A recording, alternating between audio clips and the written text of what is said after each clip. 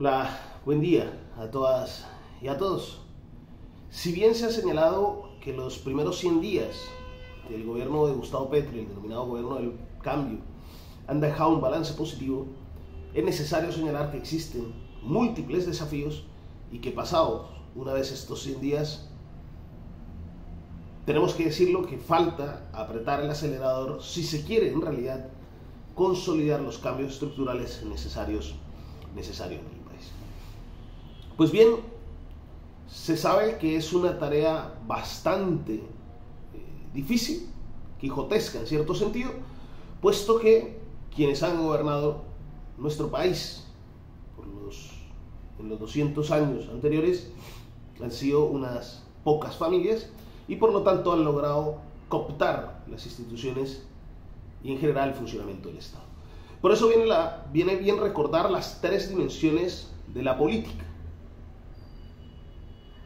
dimensiones que entendemos como la política como estructura, la política como proceso y la política como resultado.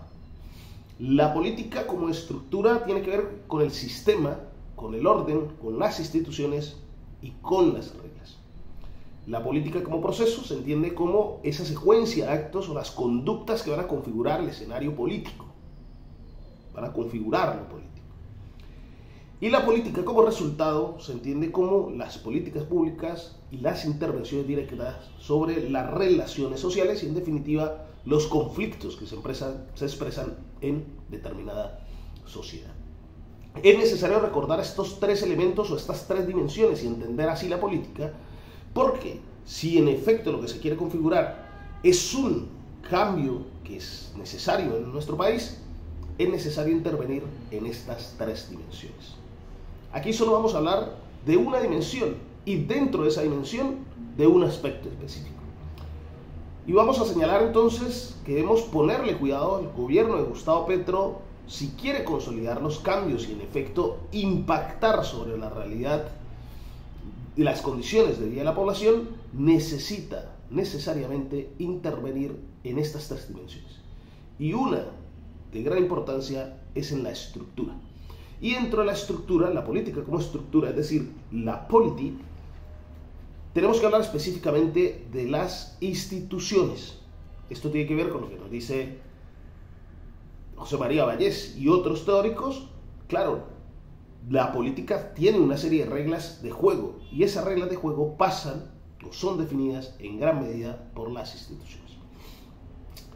Cuando hablamos de instituciones, estamos hablando o usamos la palabra instituciones para describir una serie de conductas que se ajustan, por lo tanto, a una serie de reglas o de condiciones permanentes. Una serie de conductas que se ajustan a unas pautas o reglas permanentes. Estas pautas o este conjunto de reglas van a definir, en definitiva, las posiciones que se ocupan o que ocupan cada uno de los actores frente a la realidad. Esas posiciones, ese cumplimiento de esas reglas y de esas pautas, pues van a determinar ciertos roles y también ciertas responsabilidades que en definitiva se van a materializar en el uso de recursos y de actividades que tiene a disposición. Esto van a ser las instituciones. Así que lo, institucional es algo que se contrapone a lo circunstancial. Algo esporádico, algo circunstancial. Por el contrario, la institución tiene que ver con esa serie de pautas, de reglas, por lo que se espera que determinadas personas y ante determinada realidad se actúe de cierta manera siguiendo estas, estas pautas. Pues bien, la institucionalidad y las instituciones nos ofrecen y nos entregan grandes ventajas. Uno, a la adopción de estas pautas regulares pues nos ahorran un esfuerzo, un esfuerzo social porque nos permite entonces actuar de la misma manera en situaciones parecidas. Es decir, no hay que estar reinventando ante la realidad cómo actuar o cómo se debe atender dicha, dicha necesidad. Pero también la institucionalización nos entrega o tiene una de las funciones que es disminuir, por lo tanto, los riesgos de, de imprevisibilidad, si decimos que se contrapone a las circunstancias. Por lo que los miembros de una comunidad o de la comunidad política esperan que la función política y los miembros se ajusten a determinadas reglas, a determinadas pautas de comportamiento. Y esto es una garantía, esto es una garantía democrática. Por lo que los funcionarios públicos se subordinan a una serie de cuestiones, de decisiones, de reglas y de pautas. Y vamos a parar ahí. Porque quizás este primer desafío o este gran desafío que tiene el gobierno de Gustavo Petro es la modificación en las instituciones, puesto que dichas instituciones han sido tomadas por ciertos partidos y ciertos grupos de poder que en la actualidad dificultan el ejercicio del gobierno. Un caso o una bandera de gran importancia para el gobierno de Gustavo Petro ha sido el tema de la prosperidad social. Y esto pasa necesariamente por cambiar o por robustecer el Departamento Administrativo de la Prosperidad Social, el denominado DPS.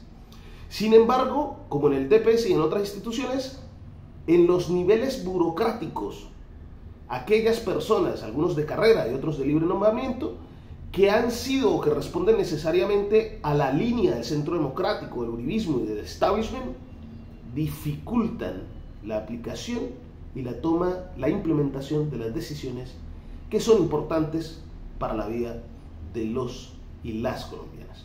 Y esto tiene que ver con una orden directa de ese grupo político, de, ese, de esa amalgama que denominamos uribismo, que en su esencia es antidemocrático, que tiene que ver con sabotear el gobierno del cambio, el gobierno de Gustavo Petro.